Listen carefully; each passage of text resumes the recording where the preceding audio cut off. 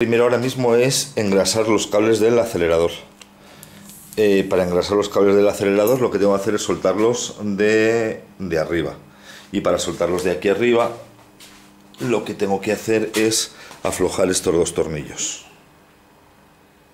He quitado los tornillos, quito estos protectores de aquí y ya tengo acceso al cable para soltarlo de su sitio y así poderlo engrasar. ¿Vale? Simplemente este aquí lo voy a soltar sacando su cabeza que está aquí.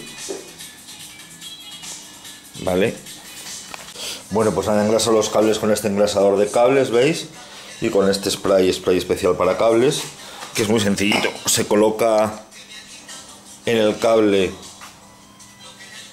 el engrasador se aprieta y luego por este agujerito de aquí se echa el, el spray por aquí hasta que sale por ahí abajo. ¿Veis? Ya ha salido todo por ahí abajo.